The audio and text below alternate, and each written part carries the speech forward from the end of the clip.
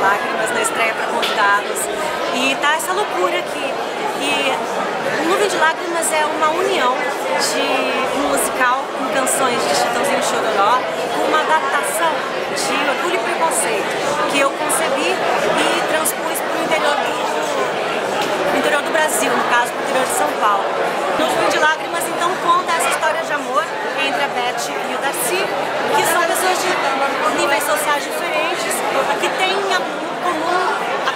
música, mas eles não vão se entregar ao amor porque eles têm, enfim, é, ideias preconcebidas a respeito do que eles são, do que eles representam.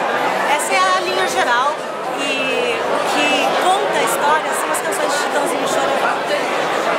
Vem ver Nuvem de Lágrimas, é de 15